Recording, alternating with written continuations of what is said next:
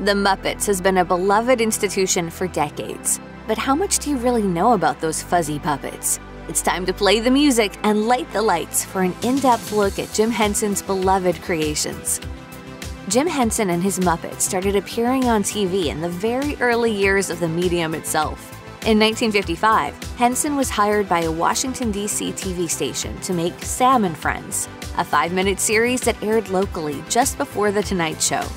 It ran for six years and centered on a simple humanoid puppet named Sam, along with other characters, including a vaguely lizard like character named Kermit, who was not yet a frog. Henson, who started working on the series when he was just 18 years old, performed almost all the characters, although he was assisted by Jerry Juhl and Jane Nebel. Juhl would go on to be a major puppeteer for the Muppets for decades. Nebel and Henson married in 1959, staying together until his passing in 1990. Sam and Friends led to many offers to make commercials, which funded the Hensons' increasingly sophisticated puppeteering operations. In 1963, the first major Muppet, the word is a portmanteau of marionette and puppet, got the Hensons their first national attention. Ralph the Dog. Operated and voiced by Jim Henson, he was the breakout star of The Jimmy Dean Show, a primetime variety series hosted by the country music singer and sausage pitchman. From then on, Henson's Muppets were a fixture of TV variety and talk shows. Contrary to popular belief, those big whites of a Muppet's eyes are not halved table tennis balls. Back in the 70s, they were made out of the cut up parts of a spherical, nesting doll like toy called Wacky Stacks. Henson and his cohorts discovered that they were the ideal Muppet eye base. So much so that when the company that made Wacky Stacks pulled the toy off the market for lack of sales, Henson reportedly bought out their entire unsold stock. Another unusual physical feature of Muppets is that they are almost all left handed. That's because most puppeteers are right handed, and they use that dominant right hand to control the expressive Muppet areas of the head and the mouth. The left hand is thus utilized to control the less used and less important Muppet arms. One notable exception veteran Muppeteer Louise Gold. She's left handed, so all of her Muppets have been designed to have a head and mouth controlled by her left hand and arms controlled by her right. In 1969, Henson wrote a proposal for a weekly Muppet series sensibly titled The Muppet Show. It took five years before ABC agreed to tape a pilot and air it as a special called The Muppets Valentine Show. Critics loved it, but ABC didn't pick it up. Undaunted, Henson pitched another version of the show the following year, introducing new characters like Sam the Eagle, Dr. Teeth and the Electric Mayhem, and the Swedish Chef. Wryly retitled The Muppet Show Sex and Violence. The special was a hit in 1975, but not a big enough hit for ABC to order more episodes. Following yet another pitch by Henson, CBS almost ordered The Muppet Show later that year, but again the network ultimately passed. It wasn't until 1976 that The Muppet Show finally made it to television, British television. Lord Lew Grade, head of the ATV network, agreed to take on The Muppet Show syndicating it to local stations across the US for five seasons. A year before The Muppet Show debuted in syndication, Henson finally had some luck getting the Muppets on network TV through a brand new offbeat variety show called NBC Saturday Night, now known as Saturday Night Live. For SNL, Henson's team created brand new monstrous creatures for a weekly segment called The Land of Gorch, but almost nobody involved with The Land of Gorch enjoyed it. Actors resented losing precious airtime to puppets, while Writers Guild rules prevented Henson's team from scripting the segment, meaning that it lacked that special Muppet magic. After just one season, the Land of Gorch was mercifully gone. Are you talking about making love to me? You guys are just puppets, right? I mean, uh, you don't even exist below the waist. The beloved Miss Piggy has only been around since 1974, just two years before the debut of The Muppet Show. She was the creation of a Muppet maker named Bonnie Erickson, who also built Muppet Show hecklers Statler and Waldorf, as well as Zoot, the blue saxophone player in the Electric Mayhem.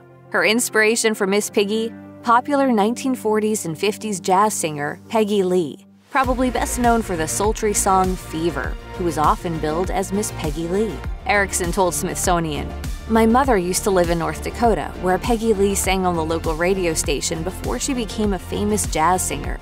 Peggy Lee was a very independent woman, and Piggy certainly is the same. Longtime Miss Piggy operator and voice performer Frank Oz came up with a backstory for the character. In a 1979 interview with the New York Times, Oz revealed she grew up in a small town in Iowa. Her father died when she was young, and her mother wasn't that nice to her. She had to enter beauty contests to survive, as many single women do. She has a lot of vulnerability which she has to hide because of her need to be a superstar. Jim Henson was a man of many talents. Not only did he create many different Muppets, particularly Kermit the Frog and Ernie from Sesame Street, but he operated them and provided their voices too, including their singing voices. In fact, two of the most famous Muppet performed songs, both sung by Henson, even hit the pop chart in the 1970s. In September 1970, Rubber Duckie, credited to Ernie, Jim Henson, peaked at number 16 on the Billboard Hot 100. And in November 1979, the powerful Rainbow Connection, which opened the Muppet movie, hit number 25. That song has since become a modern classic, covered by artists as disparate as Sarah McLachlan, Willie Nelson, Kenny Loggins, and Weezer. Yet it somehow lost the Oscar for Best Original Song to It Goes Like It Goes, a tune from the Sally Field drama Norma Rae. Apart from The Muppet Show and Sesame Street, the most successful Muppet oriented TV show is Muppet Babies, the puppet free Saturday morning cartoon that ran on CBS from 1984 to 1991. Jim Henson had long wanted to explore a show or movie based on the Muppets as babies or children, but it took a sequence in The Muppets Take Manhattan for it to happen. Toy companies lined up for the rights to sell Muppet Baby merchandise. It was clear the demand was there, and in the fall of 1984, the cartoon debuted. It was a smash hit, and throughout its run, it was often the highest rated Saturday morning cartoon on TV. Muppet Babies had its detractors, however, primarily Frank Oz, who felt it diminished the characters. And a 1985 spin off cartoon called Little Muppet Monsters disappeared after just three episodes, showing there's a limit to how much cuteness one fanbase can handle. Prior to the release of the 1996 film Muppet Treasure Island, the Muppets were served with a lawsuit by Hormel, the company that makes Spam. Why? Well, it had nothing to do with Miss Piggy, but rather with the film's new warthog character, who was named Spam. Hormel claimed the character could damage sales of their infamous canned meat product. Judges ultimately sided with Henson, arguing that Spam had been a punchline for a long time with no harm done, with countless comedians and writers questioning the content of the product. Spam, spam, spam, spam, spam, baked beans, spam, spam, spam, and spam. The ruling read in part one might think Hormel would welcome the association with a genuine source of pork. That wasn't the only Muppet based lawsuit, though, and the next one was much messier as it included Muppet on Muppet violence. In 2018, Jim Henson's son, Brian Henson, came out with a film called The Happy Time Murders, a R rated comedy about Muppet crime that co starred Melissa McCarthy. The film's marketing included the tagline, No Sesame, All Street. That in turn drew the ire of the Sesame Workshop, the nonprofit Muppet division that creates Sesame Street. They sued, claiming that the tagline deliberately confuses consumers into mistakenly believing that Sesame is associated with, has allowed, or has even endorsed or produced the movie, and tarnishes Sesame's brand. Sesame Workshop lost the case when a judge ruled that the company couldn't prove that its reputation had been damaged by the Happy Time Murders, a movie which ultimately bombed at the box office. The Muppets returned to the big screen for the first time in more than a decade with 2011's The Muppets. The script was co written by its human star, Muppet superfan Jason Segel, best known for Freaks and Geeks and How I Met Your Mother. Segel took a suggestion from Freaks and Geeks producer Judd Apatow to get more acting work by writing his own material. So he wrote the screenplay for the 2008 film Forgetting Sarah Marshall, which included a puppet musical version of Dracula. To make the puppets, Segel and his collaborators sought out the Jim Henson Company. At an early meeting, everyone in attendance got a puppet to goof around with. But according to Forgetting Sarah Marshall director Nicholas Stoller, Jason was playing with the puppet the whole time during this business meeting. It was looking at people, looking at him as he was talking. Segel's enthusiasm so impressed Henson executives that they got him a meeting with the Muppets' corporate parent, Disney, where he straight up pitched a brand new Muppet movie. The rest was box office history. Steve Whitmire joined the Muppets in the 70s, operating puppets in The Muppet Movie and on The Muppet Show, and finding his signature character during the 80s in Rizzo the Rat. Whitmire took over Kermit the Frog after the death of Jim Henson in 1990 and continued with the character until he was suddenly fired in 2016.